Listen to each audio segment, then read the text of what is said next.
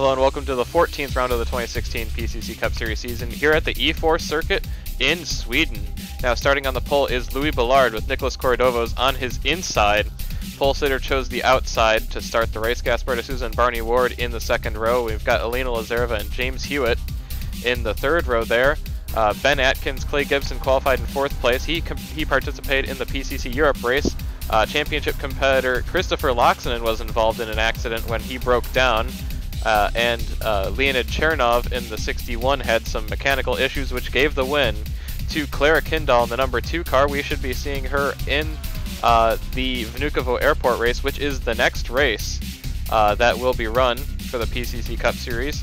Uh, we're looking at about 130 cars right now showing up to that race between PCC Cup uh, Europe cars and some one-offs that have been entered. So that should be a very exciting race. Um, we'll be looking at uh, four tiered qualifiers once again uh, for that race as we've got the ROG Motorsports there uh, locking out row 15. And this is a uh, aerodynamic course where some of the cars with better aerodynamics will perform better in qualifying and you can see that in qualifying. Uh, Cale Bernhardt Jr. did not do so well, but he was fairly fast in practice. He was about 30th fastest in practice, and rounding out the last row is Hank Jr. Wheat Farmer and John Jefferson uh, at the back of the field. And with that, Louis Ballard leads the field to the green flag. Nicholas Cordovos on his inside. Uh, the looks like we've got four wide already in the back there between. Uh, that looks like Lazareva, two of the TBA cars, and Clay Gibson making a move on the inside there. Four wide for second place as Louis Ballard starts to distance himself away as Corridovos gets caught up in that mess back there. Uh, is trying to make a move on the inside with James Hewitt there. Uh, we've still got three and four wide in the back of the field as Clay Gibson starts to fall back now. As Ballard, uh, Hewitt, and uh, that's Gaspar de Souza in fourth place as they start to sort out through these first few turns. Uh, as look at Ballard starting to pull away just a little bit and it looks like we've got uh, some we've got a few cars in, uh, involved in an incident in the back there. Let's take a look at what happened here. Oh, looks like Tom Delgado got hooked by Brian Gallagher, got turned into the inside wall, and we've got chaos ensuing there as we've got multiple cars. Oh my goodness, that's a car in the guardrail. Dan Ferre involved as uh, looks like we've got a jam up there, going to go on board with uh, um, Brian Gallagher as he just turned uh, Delgado there got into Sapphire Anderson. She goes into the inside wall. Greg Woodard's in it. Alex Phillips, Barbara Burt, Mark Burt. Many cars involved as uh, Tom Wilson there has uh, gotten a piece of it as we're going to go on board with Daniel Sharp and uh, take a look further back and see what he saw as uh, looks like he got into Kyuga Hakai and sent him into the wall. That's a huge hit for Hakai. Kurt Pliskin spinning there. Uh, Kelly Blackwater got a piece of it bunch of cars involved early on. Uh, they're going to get that all sorted out. And now taking a look here, we've got Ben Atkins. He's going to collect Gaspar de Souza there, and they're both going to go into the sand. Barney Ward and Ben Atkins. Uh, neither of them are going to be able to get out, and they're both going to have to get towed back to the pits and lose a couple laps in the process. Tough break for both of them. They were running very well and had qualified very well. Uh, Clay Gibson following right behind this. Uh, going to get three wide there, and he's going to get hooked into the outside wall uh, by Ike Durbin, and he's going to go out of the race very early on. Tough break for the Australian, who had a good qualifying effort as well. And, uh, oh, Alex Phillips just got spun by Brian Gallagher, who's on a trail of destruction here uh, from 20th place. Alex Phillips qualified in 24th, had a good run uh, going, and he's going to lose a couple positions, but keep it going in the right direction. Uh, looks like we've got uh, spin up here. It looks like Brian Gallagher is going to get in contact with Ian Elias there, and they're both going to go off the track, and Brian Gallagher is going to get stuck in the sand trap. Uh, instant karma, I would say, is uh, he did cause two of the big accidents that happened early on between Alex Phillips and uh, that lap one incident. So I, you won't hear any sympathy from me as Tom Wilson battling with uh, Barbara Burt here. Uh, Tom Wilson already has a bit of damage. Barbara Burt's just going to turn him into the outside wall. They're both going to go in hard, and both are going to go out of the race on lap number two. Uh, both drivers were up in the top 20 when this happened, as Louis Ballard starting to pull a bit of a gap over uh, Nicholas Corridovos back there.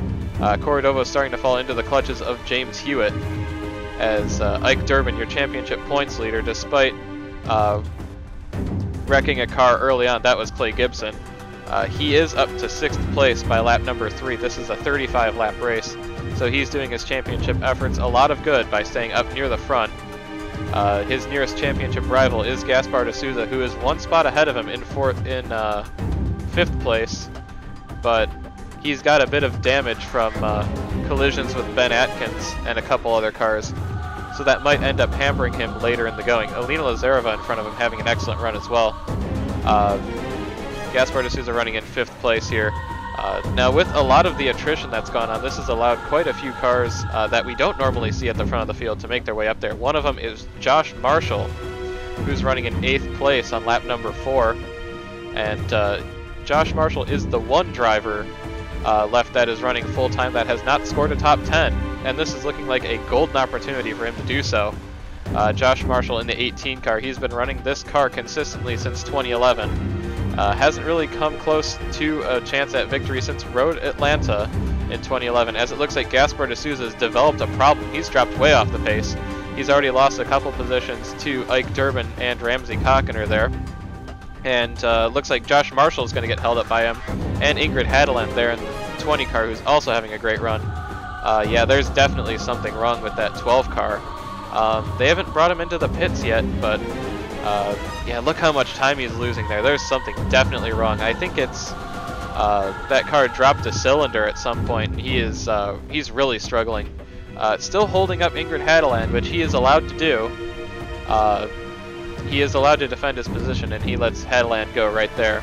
As uh, here is John Jefferson, who's already lost a couple laps. He got stuck in the gravel trap on the first lap, and he's going to get stuck there again after bouncing off uh, Gaspar de Souza. And when you're the slowest car on the track in qualifying and you're getting ready to pass Gaspar de Souza, uh, that's not a good sign for that 12 car, but unfortunately, John Jefferson's going to lose even more laps in the pits. As here's Scott Wellen, who's really had an upturn in form since we've uh, showed up on the European circuits. He's done an impeccable job in this number 16 car, uh, almost single-handedly bringing Lucas Motorsports out of relegation. Uh, he's running up in ninth place as we reach the 1/5 mark in this race. Uh, Scott Wellen doing an excellent job up in the top 10. As James Hewitt now has already worked his way around uh, Nicholas Cordovos. He's put him in the dust, and he's focused his sights on Louis Ballard, who appears to be dealing with some lap traffic up ahead. Uh, but uh, James Hewitt is the fastest car on track currently and is doing an excellent job trying to hunt down Louis Ballard, who seems to be struggling with some of the lap traffic that they're already starting to encounter up ahead. Uh, and this is uh, Andy Lambert, who's done a pretty good job here today. He had a good qualifying effort, and he's running in 10th uh, place on lap number 8. Uh, that is for position that uh, Akio Gifu behind him, he's having a great run as well. Uh, but Andy Lambert, there was some speculation earlier in the season that he might bring his uh, operation up to the Cup Series, uh, Lambert Motorsports, but he has repeatedly told his team that no, there are no plans for him to do that. Uh, so let's see if Andy Lambert's a man of his word when the season comes to the end. Uh, if he can keep his team in the relegate or in the promotion spot to the PCC Cup Series. Here's the battle for 28th between Lewis Jones and Hank Jr. Wheat Farmer, and that's going to end in tears. Uh, Hank Jr. Wheat Farmer gets into the back of Jones, and they're both going to go into the gravel trap. They're both going to get stuck, and they're both going to lose a couple laps in the process, getting towed back to the pits. Tough break for both of them, especially Hank Jr. Wheat Farmer, who's trying to uh, parachute his fall through the standings, uh, as he is not very good on these road courses. Ingrid Hadeland has gotten around uh, Josh Marshall. She has really set a light under this uh, Matthews Motorsports team, and uh, she's been consistently running in the top 10 on these road courses. Uh, we are expecting to see her in this 20 car for the rest of the uh, European Tour, except for uh, the race at Euro Speedway Lausitz, which uh, Alexa Lake will be in this 20 car once again. Frank Azaretto having a good run. He's up in 20th uh, place or so, but he's reporting that he's dropped a cylinder now too. sounds like it's about the same problem that Gaspar de Souza is having right now because he has dropped quite a bit uh, down on pace. And that's uh, Preston Bell who's getting ready to pass him there for, I believe that's 21st position. And look behind there, that's Cale Bernhardt Jr. up in 22nd. So that just tells you the attrition rate that's uh, been going on in this race. As uh, Cale Bernhardt Jr., I never thought I'd say that he's close to a top 20 on a road course, but uh, I guess he's really kept it quite clean. He dodged the first accident, got through that without a problem.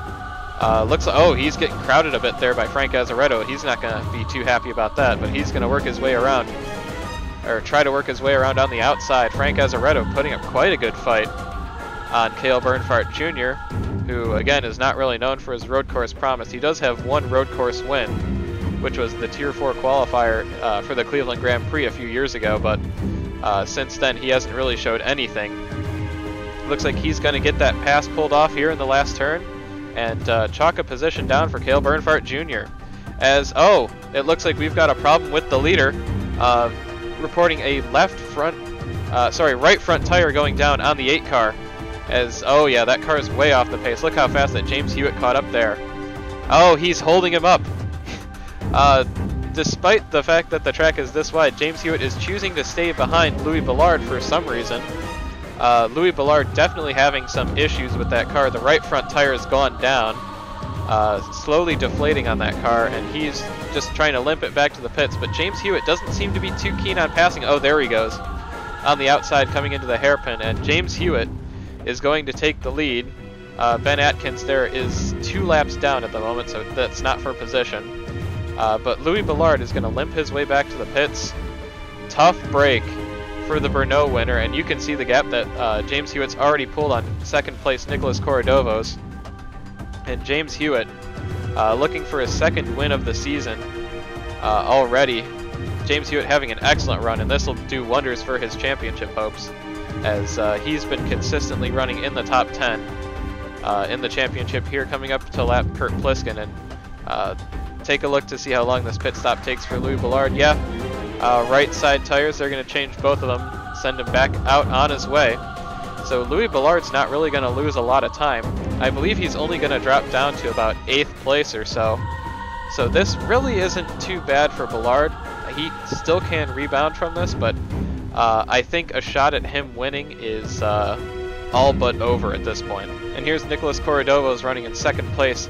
Uh, struggled getting around Ben Atkins there, understandably so, since uh, Atkins' teammate uh, Hewitt is leading. And that's Alina Lazareva in third place, but Nicholas Corredovos has really struggled this season. We haven't seen the domination that we've known from him in years past. Uh, he even DNQ'd a race earlier in the year at Mansfield. Uh, but Corredovos having a strong run, uh, trying to reverse the trend that we've seen from him so far this season. And same thing with Kelly Blackwater, who at one point earlier this season looked like one of the main challengers for the title, uh, unexpectedly so as that is, uh, to Ike Durbin. But uh, since the European Tour, she has free fallen through the standings, uh, dropping outside the top 10. Uh, and Kelly Blackwater running 16th place now over, uh, that's Daniel Sharp behind her in 17th place, having another strong run. Daniel Sharp doing what he needs to do to stay up in the top 20 in points, but Kelly Blackwater trying to reverse her recent trend of free falling through the standings. Uh, John Jefferson, oh, he's getting in the way. That's uh, He's blocking Louis Ballard, who is in a battle with Scott Wellen there, and Ballard has none of it and dumps him off the track. And that's going to be the end of the day for John Jefferson, who at this point has completed only 10 of the race's 16 laps. He's been stuck in the gravel trap twice, uh, gotten towed back to the pits twice, and that's going to be the end of the day for the 55 car, uh, who's had an absolutely miserable uh, trip into Europe. And we've got our first green flag pit stop with uh, Vinny here in 19th place, coming in on lap 16 of 35. Uh, good run going for Vinny so far. He hasn't really shown uh, too much speed, but uh, I guess he's bringing uh, important financial injections into this team, and I suppose it's better to be rich than good uh, in some respects. And here we've got Gaspar de Souza, who's uh, already gone a lap down, uh, and he's getting ready to come into the pits. Looks like a bunch of the leaders are getting ready to come into the pits. There's Ike Durbin committing, Ramsey Cockner, and oh, looks like he blew the pit entrance, and he's going to hit the pit wall. What on earth was Gaspar de Souza doing? I'm not sure why uh, he didn't pull into the pits. And here's Greg Woodard, uh, running up in the top 10, just outside the top 10, and unfortunately his car is going to experience some mechanical difficulties. Uh, he was running in 12th place, that's Duncan Cobb right behind him. Uh, not sure why he hasn't passed him yet. Okay, there he goes. Uh, but Greg Woodard, a tough break for him. He was having a good run as well. And unfortunately, his team, which has been struggling in the championship, uh, is not going to look so good. James Hewitt skips on the pit lane this time, uh, but it looks like most of the leaders have come in. Uh, Alina Lazareva we're following right now in the pit lane. Looks like Ramsey Cockiner is in. Uh, Josh Marshall, that's Scott Wallen in the background, is. Uh, looks like. Oh my goodness. Uh, Barry Juveno just blew up right as he passed the pit lane. Uh, tough break for Barry Juveno as he was running up in the top 20. He was in 18th place at the time. And that's really unfortunate because Juveno has had absolutely miserable season. Uh, he was looking to have a good run here today, and unfortunately it's not going to pan out that way. He just... Uh, unfortunate for him as uh, James Hewitt brings his car into the pits a lap later, lap 18 of 35, so it looks like he's going to try it on one stop. And Cordovos brings it in as well, uh, trying to mimic him and keep him pinned on his strategy as we're going on board with Louis Ballard, who is off cycle right now. And there's James Hewitt coming out right in front of him. As it looks like uh, Louis Ballard's going to have a chance to reclaim the lead here if he can keep up his speed. Uh, dark skies I've noticed, so uh, threat of weather maybe.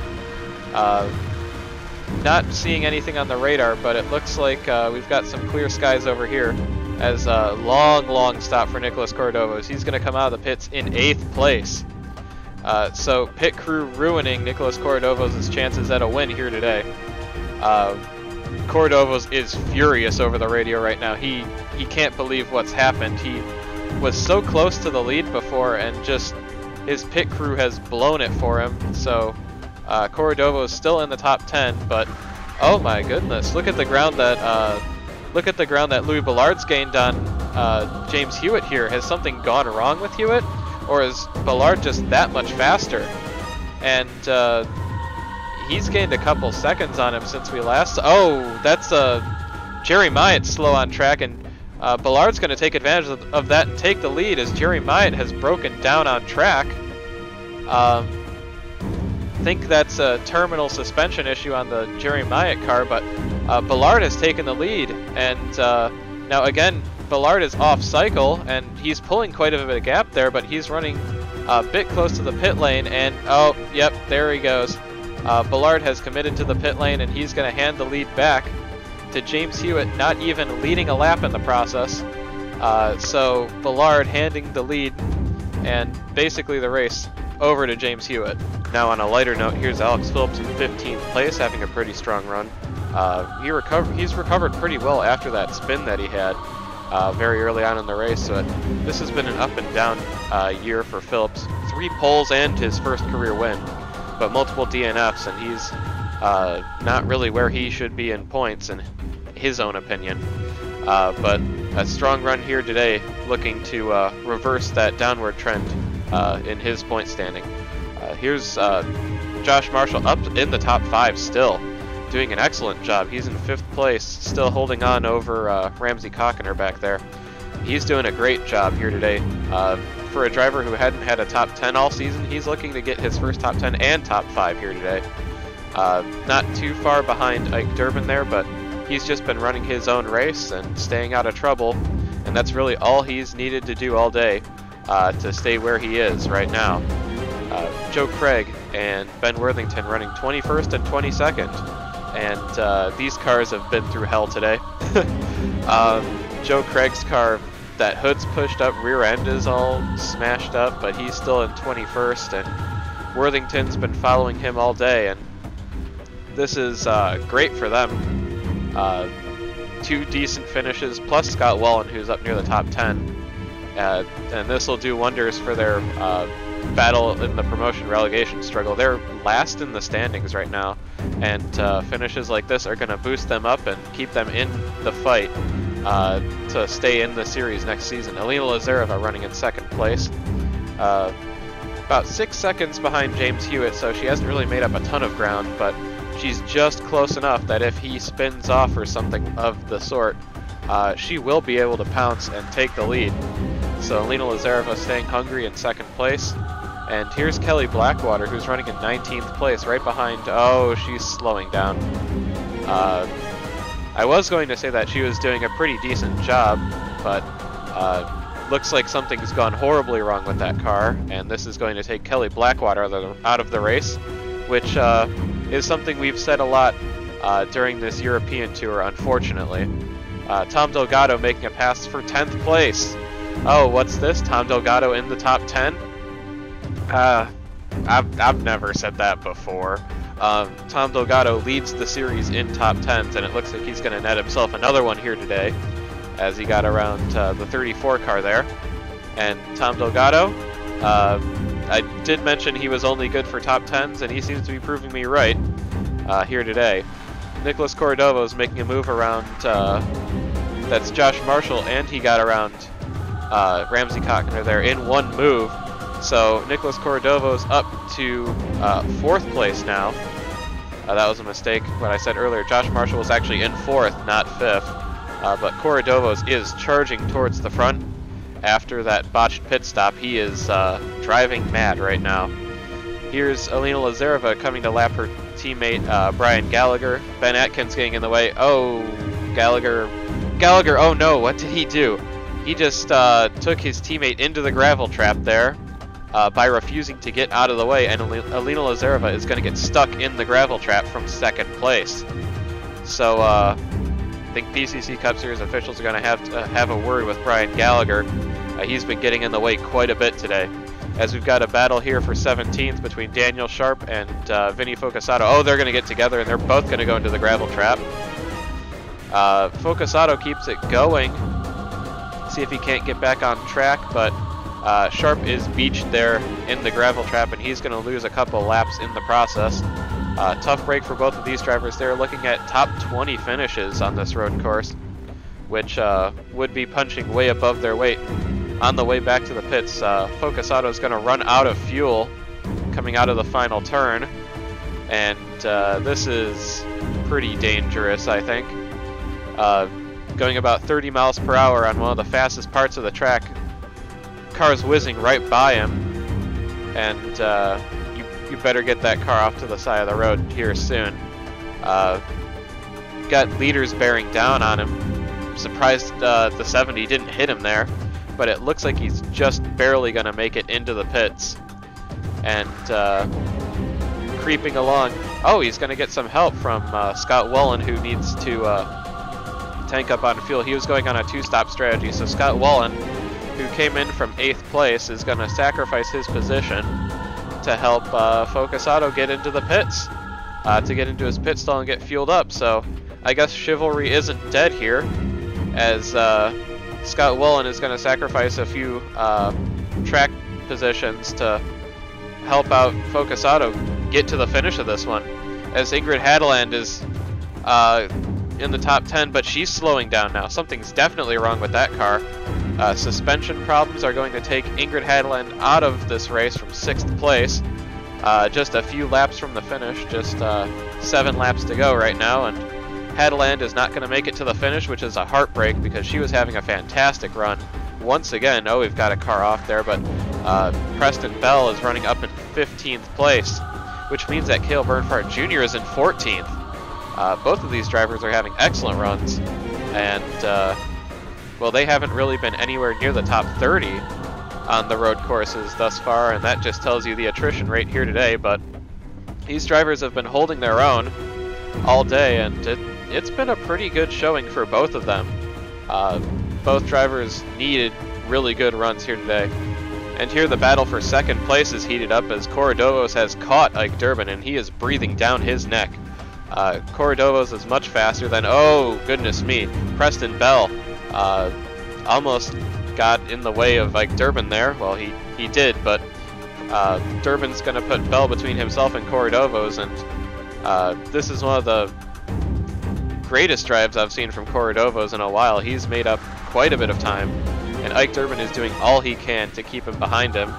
As, uh, oh, Dan Ferre's going to get in the way and Dan is going to get hooked off the track. The 96 car is done for the day after that hit, and uh, I think Cordova's managed to get around Durbin in the process, as yeah, Durbin slid off track, and Cordovos is going to take the inside and take over the second position. So Nicholas Cordovos is having an excellent run. Let's see if he can't catch uh, James Hewitt here. Is now we've got a battle for fifth place. Oh, Cockiner just turned Josh Marshall there. He's going to slide through the uh, gravel trap, and he's going to get back on track. Uh, that was a perfect spin. A bit unnecessary, quite a bit unnecessary from Ramsey Cockiner, but uh, Josh Marshall's going to continue on in sixth place. He only lost two positions in that ordeal. That was a battle for, uh, I believe that was for fourth place, fourth or fifth place. However, James Hewitt, unchallenged at the front of the field, uh, Cordovas would not catch him, and James Hewitt would take his second win of the season at the E4 circuit here today. Taking a look at the results now, Ike Durbin managed to hang on to finish in third place, Ramsey Cockiner in fourth after spinning Josh Marshall, Louis Ballard in fifth place. Josh Marshall gets his first top 10 of the season and nearly top 5 with a sixth place run. Tom Delgado, good for only top 10s, I guess, another seventh place for the three car, and he continues to lead the series in top 10s. Andy Lambert has a great run in eighth place. Mark Burt didn't talk about him all day. He managed to sneak into ninth place, and Duncan Cobb rounds out the top 10 in the 79 car. Uh, your second place finisher and nearly winner at Road America. Akio Gifu in 11th place had a good run. Didn't talk about him much. Scott Woolen sacrificed an 8th place finish to push Vinny Focasato into, into his pit stall. Vinny would finish the race uh, in that double zero car in 23rd. Alex Phillips in 13th. Preston Bell and Cale Bernhardt Jr. come out of nowhere. Didn't really expect to see them anywhere near the top 20 at all. To finish 14th and 15th. Worthington and Craig finished 16th and 17th. Ryan Matthews was missing a hood. Uh, he lost his hood in lap 1 uh, crash, but managed to stay out of trouble after that and finished 18th place. Ian Elias had his issues today. And uh, Ben Atkins, after getting beached in the sand early on, uh, comes back to finish two laps down in 20th place. And now looking at the points, Ike Durbin continues to hold a one race lead, barely, over James Hewitt now in second place after that second win of his. Uh, Tom Delgado vaults up to third place in the standings uh, on account of, I believe, eight top tens in 14 races this season. Uh, Brian Gallagher in fourth. Uh, that position is tentative, and I think uh, PCC Cup Series officials are going to have to have a word with him after causing repeated incidents today. Gaspar de Souza had a rough run and dropped down to fifth place in the standings. Ben Atkins in sixth. Uh, Louis Ballard, seventh place after his good run today, despite what could have been a win. Nicholas Cordova was back up in the top 10 for the first time in a long time. Uh, Ian Elias in ninth place. Mark Burt continuing a strong rookie run in 10th place. He actually vaulted over Hank Jr. Wheat Farmer for that, uh, who dropped to 11th. Uh, Duncan Cobb in 12th place, being very consistent, uh, tied with his teammate for that position. Andy Lambert and Sapphire Anderson tied for 13th. Barbara Burt 15th place, didn't have a great run today. Uh, Josh Marshall in 16th, uh, got his first top 10 and is up in the top 20 in points. Akio Gifu in 17th, Kelly Blackwater free falling through the standings down to 18th, Daniel Sharp in 19th, and John Jefferson another driver who's free falling. He was up in the top 10 in points uh, after Mansfield is now down to 20th. He's really struggled this European Tour.